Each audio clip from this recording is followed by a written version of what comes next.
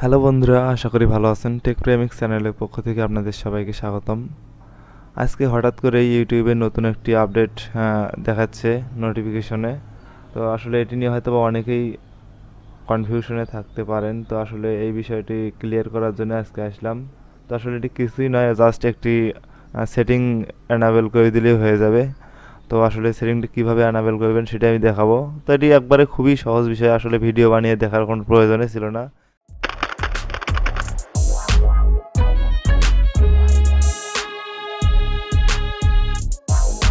তারপর অনেকে আমাকে হয়তো বা মাঝে মধ্যে প্রশ্ন করবে, এই জন্য আমি আগে ভাগেই আপনাদের জন্য একটি ভিডিও দিয়ে দিলাম। আশা করি একটু হলে উপকৃত হবেন। তো আসলে এখান থেকে যখন নোটিফিকেশনটা আপনাদের আসবে, আজকে তেরো তারিখে নোটিফিকেশনটি আসছে, আবার অনেকের হয়তো বা বারো তারিখও আসছে, কিন্তু বাংলাদেশে বেশিরভাগেরই, আমার দুইটি চ্যানেলেই এইমাত্র আসলো সকালেই। তো আপনারা এখান থেকে সিলেক্ট চ্যানেল সেটিংয়ে যাবেন।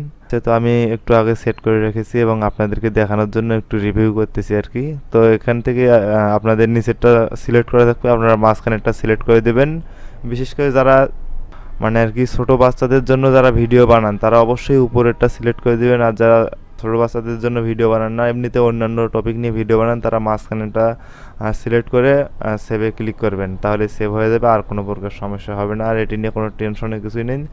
যারা ছোট বাচ্চাদের জন্য ভিডিও আপলোড করে, অর্থাৎ কিডস রিলেটেড চ্যানেল চালায়, তাদের জন্য একটি ডিসক্রিপশন বক্সের লিঙ্ক থাকবে। অবশ্যই সেই লিঙ্কে ক্লিক করে নতুন নিয়ম কানুনগুলো দেখে নেবেন। তাছাড়া আপনি হয়তো যে কোনো সময় বিপদে পড়তে পারেন।